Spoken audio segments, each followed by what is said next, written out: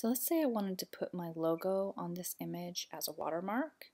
I could bring the image in from a saved file and place it in here, but there's another really fast way of saving my logo for watermarking across lots of images if I just save it as a brush preset.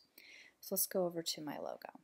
So I've already changed my logo to black. That's the first step you want to do. I did that with image, adjust, threshold, and just drag the slider till it was black. Now I go up to File, or I mean Edit, Define Brush Preset. We're going to call it Sarah Design Logo. Hit OK. Now we're going to go over to our photo. We're going to open up the layers and create a new layer.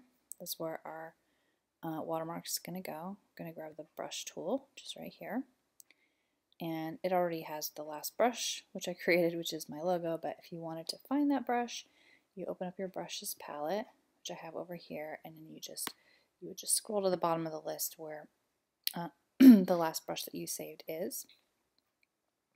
And there it is. When I click it's going to kind of stamp it onto this layer and it's going to use the foreground color. So since my foreground is white it's going to stamp it as white.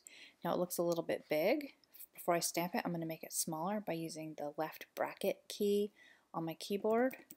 Just click that a few times to size it down, and then I'm just going to click, and there it is on my picture.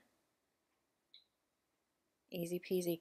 And then I could also just sort of tune down the opacity here by sliding the opacity layer so it's not so standing out so much. And there is my watermarked image.